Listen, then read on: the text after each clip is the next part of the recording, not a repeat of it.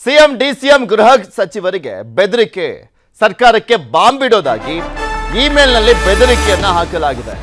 ಶಾಹಿದ್ ಖಾನ್ ಎಂಬಾತನಿಂದ ಬೆದರಿಕೆಯನ್ನ ಹಾಕಲಾಗಿರುವಂಥದ್ದು.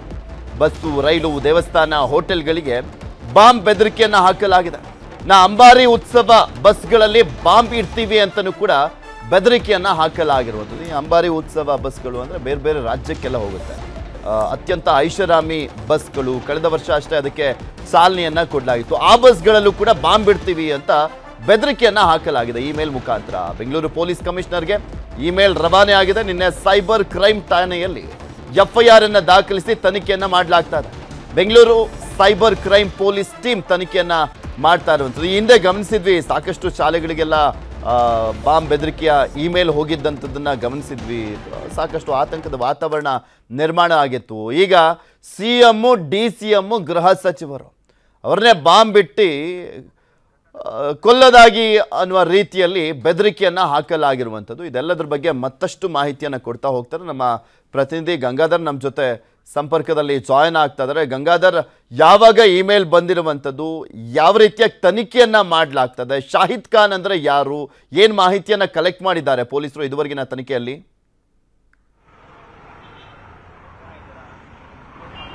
ಪೃಥ್ವಿರಾಜ್, ಶುಕ್ರವಾರ ರಾಮೇಶ್ವರಂ ಕೆಫೆಯಲ್ಲಿ ಬಾಂಬ್ ಸ್ಫೋಟ ಆಗುತ್ತೆ. ಆ ನಂತರ ಇದು ಪೊಲೀಸರಿಗೆ ಈ ಪ್ರಕರಣ ಬಹಳ ದೊಡ್ಡ ಸವಾಲಾಗಿ ಇರುವಂಥದ್ದು. ಆದರೆ ಇದರ ಬೆನ್ನಲ್ಲೇ ಮರುದಿನ ಶನಿವಾರ ಮಧ್ಯಾಹ್ನ ಖುದ್ದು ಸಿಎಂ ಆಗಿರ್ಬೋದು, ಡಿಸಿಎಂ ಮತ್ತೆ ಗೃಹ ಸಚಿವರು ಸೇರಿದಂತೆ ಬೆಂಗಳೂರು ಪೊಲೀಸ್ ಕಮಿಷನರ್ಗೆ ಒಂದು ಮೇಲ್ ಬರುತ್ತೆ. ಅದರಲ್ಲಿ ಥ್ರೆಟ್ ಕಾಲ್ ಕೊಡೋ ಇರುವಂತದ್ದು, ಅದರಲ್ಲಿ ಪ್ರಮುಖವಾಗಿ ಟೂ ಪಾಯಿಂಟ್ ಫೈವ್ ಮಿಲಿಯನ್ ಡಾಲರ್ಗೆ ಅದರಲ್ಲಿ ಡಿಮ್ಯಾಂಡ್ ಮಾಡಿರುವಂತದ್ದು ಒಂದು ವೇಳೆ ಹೆಣ ಕೊಡದೇ ಇದ್ದಲ್ಲಿ ಎಲ್ಲ ಬಸ್ ನಿಲ್ದಾಣಗಳಾಗಿರ್ಬೋದು, ದೇವಸ್ಥಾನಗಳಾಗಿರ್ಬೋದು, ಜೊತೆಗೆ ಇಲ್ಲಿ ಬಸ್ ಸ್ಟ್ಯಾಂಡ್ಗಳಿರುತ್ತವೆ. ಮತ್ತೆ ಅದಲ್ಲದೆ ಅಂಬಾರಿ ಉತ್ಸವ ಬಸ್ಗಳು ಹೋಗುವಂತ ಸಂದರ್ಭದಲ್ಲಿ ನಾವು ಬಾಂಬ್ ಬ್ಲಾಸ್ಟ್ ಮಾಡ್ತೇವೆ ಅಂತೇಳಿ ಥ್ರೆಡ್ ಕಾಲ್ನಲ್ಲಿ ಅದು ಒಂದು ಮೆಸೇಜ್ ಅನ್ನ ಕಳಿಸುವಂಥದ್ದು. ಅದು ಮೇಲ್ ಐಡಿ ಇರುವಂತದ್ದು ಶಾಹಿದ್ ಖಾನ್ ಅಂತೇಳಿ ಆ ಒಂದು ಮೇಲಾಡಿಯ ಮೂಲಕವಾಗಿ ಇವರಿಗೆ ಟ್ಯಾಗ್ ಮಾಡಿ ಅದನ್ನ ಥ್ರೆಡ್ ಕಾಲ್ನ ಒಂದು ಮೇಲನ್ನ ಕಳಿಸಲಾಗಿರುವಂತದ್ದು ಈ ಬಗ್ಗೆ ಈಗ ಬೆಂಗಳೂರು ಸೈಬರ್ ಕ್ರೈಮ್ ಪೊಲೀಸ್ ಠಾಣೆಯಲ್ಲಿ ಎಫ್ಐಆರ್ ಕೂಡ ದಾಖಲಾಗಿದ್ದು, ಆ ವ್ಯಕ್ತಿ ಯಾರು ಅನ್ನೋದ್ರ ಬಗ್ಗೆ ಕೂಡ ಮಾಹಿತಿಯನ್ನ ಕಲೆ ಹಾಕ್ತಾ ಇದ್ದಾರೆ. ಆದ್ರೆ ಪ್ರಮುಖವಾಗಿ ಅದನ್ನ ಏನು ಒಂದು ಐಡಿ ಕ್ರಿಯೇಟ್ ಮಾಡಿದರೆ ಮತ್ತೆ ಅದರ ಐಡಿ ಫೇಕ್ ಐಡಿ ಮಾಡಿರಬಹುದು ಅನ್ನೋ ನಿಟ್ಟಿನಲ್ಲಿ ಪ್ರಾಥಮಿಕವಾಗಿ ಪೊಲೀಸರು ಈಗ ತನಿಖೆ ಗೊತ್ತಾಗ್ತಾ ಇದೆ. ಜೊತೆಗೆ ಜೊತೆ ಈ ಒಂದು ಮೇಲ್ ಐಡಿ ಕ್ರಿಯೇಟ್ ಮಾಡಿದಂಥವ್ರು ಯಾರು, ಮತ್ತೆ ಇದರಲ್ಲಿ ಯಾರ್ಯಾರಿಗೆ ಸಂದೇಶವನ್ನ ಕಳಿಸಲಾಗಿತ್ತು ಅಂತ ನೋಡೋದಾದ್ರೆ, ಪ್ರಮುಖವಾಗಿ ಎಲ್ರಿಗೂ ಕೂಡ ಟ್ಯಾಗ್ ಮಾಡಿ ಸೇಮ್ ಎಲ್ರಿಗೂ ಕೂಡ ಒಂದೇ ರೀತಿಯ ಸಂದೇಶವನ್ನ ಕಳಿಸಲಾಗಿರುವಂತದ್ದು.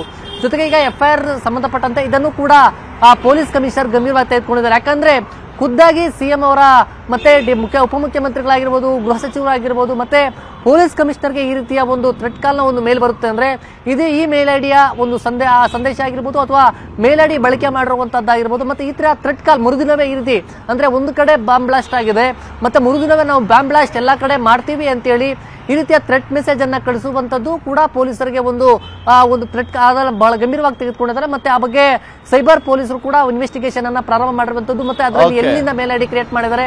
ಐ ಪಿ ಅಡ್ರೆಸ್ ಅದರಿಂದ ಏನ್ ಬರ್ತಾ ಇದೆ ಅನ್ನೋ ಟೆಕ್ನಿಕಲ್ ಎವಿಡೆನ್ಸ್ ಆಧಾರದ ಮೇಲೆ ತನಿಖೆಯನ್ನ ಈಗ ಮಾಡ್ತಾ ಇರುವಂತದ್ದು ಪೃಥ್ವಿರಾಜ್. ಓಕೆ ಧನ್ಯವಾದ ಗಂಗಾಧರ್ ನಿಮ್ಮೆಲ್ಲ ಮಾಹಿತಿಗಾಗಿ.